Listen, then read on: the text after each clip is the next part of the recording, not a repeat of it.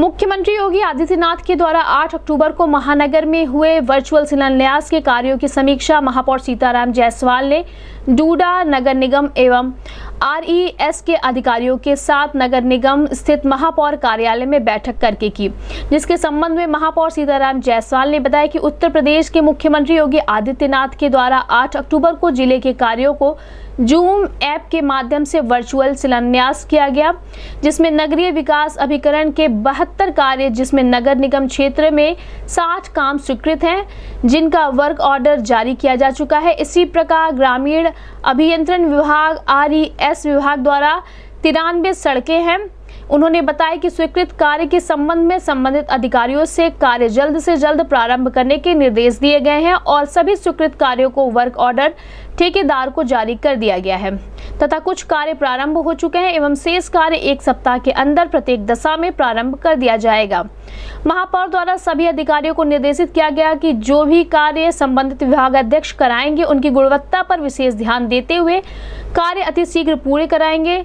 यदि किसी प्रकार के कार्य में बाधा उत्पन्न होती है या आवश्यकता पड़ती है तो तत्काल मुझे अथवा नगर आयुक्त को स्थिति से अवगत करते हुए जो भी सहायता चाहेंगे, नगर निगम तत्परता से उस पर सहयोग करेगा। उन्होंने सभी अधिकारियों को निर्देश दिया कि आगामी दशहरा एवं दीपावली पर्व को ध्यान में रखते हुए मार्गों के निर्माण में ऐसी व्यवस्था सुनिश्चित करें, जिसमें आम जनमानस को असुविधा न हो। यदि किसी मार्ग के निर्माण कार्य हेतु बैरिकेटिंग आदि की जाती है तो उसका पूर्व में सूचना समाचार पत्र के माध्यम से मार्ग डायवर्जन का कार्यक्रम बनाकर जनमानस को अवगत कराएँगे। बैठक में नगर आयुक्त अंजनी कुमार सिंह उप सभापति अजय राय, मुख्य अभियंता सुरेश चंद, परियोजना डूडा अधिकारी विकास सिंह उपस्थित रहे। इस संबंध में गोरखपुर न्यूज़ से बात करते हुए महापौर सीताराम जायसवाल ने कहा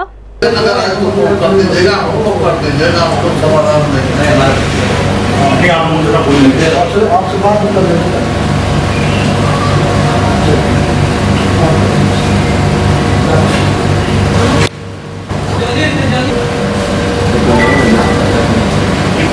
आज सर, बैठक हुई है किस संदर्भ में की गई आज टूडा आर और नगर निगम के अधिकारियों से मुख्यमंत्री जी के दिशा निर्देश के अनुसार एक बैठक बुलाई गई है और उसमें जो मुख्यमंत्री जी ने पिछले दिनों डूडा और आर के कामों को स्वीकृति प्रदान की थी, उसमें गति लाने के लिए अधिकारियों ने बताया है, डूडा के अधिकारियों ने बताया है कि जितने भी काम स्वीकृत हुए हैं, वो हमारे काम शत शत प्रतिशत प्रारंभ कर दिए गए हैं और जल्द से जल्द पूरा हो जाएगा। आर के अधिकारियों ने बताया कि अभी काम तीन दिन के अंदर